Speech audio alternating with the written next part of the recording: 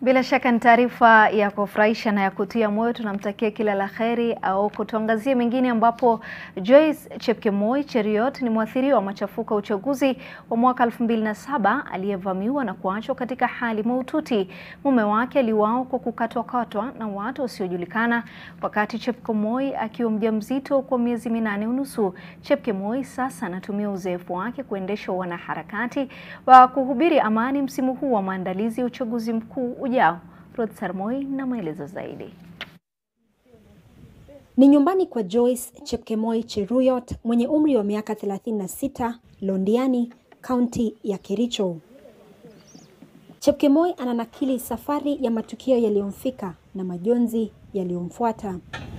Ilikuwa saa tano mchana akiwa nyumbani kwake Kuresoi Kaskazini walipovamiwa na watu kumi na wawili. Walipoingia akaniambia, omba Mungu yako ya mwisho, leo ni siku yenyu ya mwisho. Akasika mzee akamtolea nguo yote na mimi nikatolewa yote, na nilikuwa na mimba mwezi nane. Wakaanza kunikata kisu hapa mpaka mtoto akapinduka akalalia saidi hii, wakaanza kunikata vidole vyangu viwili. Wavamizi hao walimkatakata mumewe viungo vya mwili hadi alipokata kamba, kisha wakamgeukia tena Chepkemoi. Huyu mama tumalize hata yeye. Wakatoa hiyo githeri na wakanishikilia jiko ya makaa. Wanao wawili waliokuwa kwa jirani walitorokea msituni. Chepkemoi alipelekwa makafani ya Molo akiwa hali mahututi kiasi kwamba polisi waliombeba walidhania kafariki. Nikaamuka saa kumi na mbili nikisikia njaa, nikisikia uchungu kwa kila mahali, mpaka shingo huku bali niko naumishwa na kisu.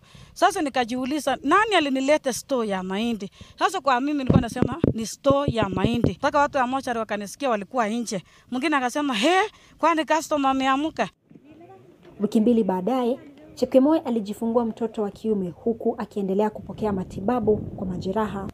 Safari yake ya kupona hata hivyo haikuwa rahisi, kwani alifukuzwa na jamaa zake kutokana na makovu yake. Nikalialia, nikienda na tabu, nikitembea na tabu na gunia, hakuna manguo yenye tulikuwa naye, tabu, hakuna chakula, iko na chochote. Na hii watoto wawili walikuwa watoto, hii wasichana wawili walikuwa nalia, niko na mtoto mdogo, mkono ilikuwa imeumia. Sista yangu ako na uso mzuri, lakini saa ilikaa mbaya sana, hata watu waliokopa kuingia hata kwa hoteli kukula na watu, watu wanatorokea yeye. Hayo ni ndwele sasa.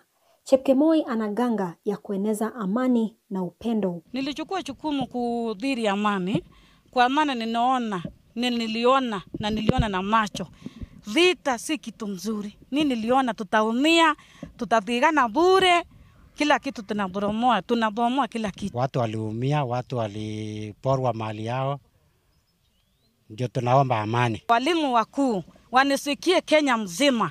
Juu nikienda wananiambia lete barua, lete hii barua, na sina sijapata usaidizi yote ya hii barua ya NGOs ya kutembea ndio niweze kuongelesha amani na shule haswa. Wanasiasa je? Ahubiri amani, amani, asione kura peke yake, ajali maisha za watu. Alikatwa vidole na kupiga muhuri wa alama ya vidole ni changamoto, ila ana imani ataweza kupiga kura katika uchaguzi mkuu ujao.